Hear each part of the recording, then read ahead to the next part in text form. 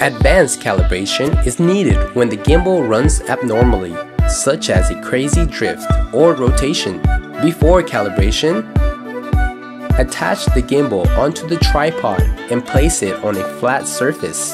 The surface must be flat, otherwise the calibration will be affected. Place the phone into the holder. Please note that the tilt motor must be on the right side. Move the mobile phone leftwards or rightwards until it keeps level. Turn on the Bluetooth. Unlock the screen portrait orientation. Launch the Moza Genie app. Click the Bluetooth icon. Connect the device. Now, the gimbal is ready for calibration. Start the advanced calibration. Tap the gimbal icon to enter the setting interface. Click to start the calibration.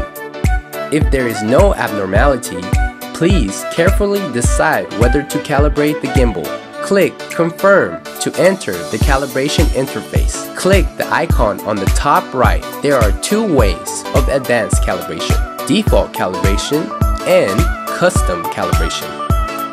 Select default calibration. Stand the gimbal on a flat surface according to the on-screen instruction. Make sure the pan arm is aligned with the front of the handle. For some smartphones, the tilt arm is not able to be balanced.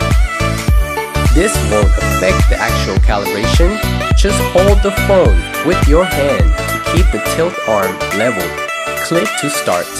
Hold the phone and make sure the phone screen is facing the operator. Turn the phone gently until the lower part becomes green. Release the phone when the countdown starts. For iOS phones, M angle calibrated, calibration completed, prompts will appear on the screen in sequence.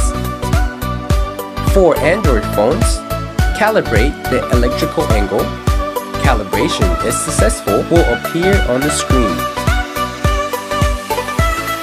Please note that the operator must release the phone when the countdown starts. Otherwise, the calibration may fail. Restart the gimbal and observe if there is anything abnormal.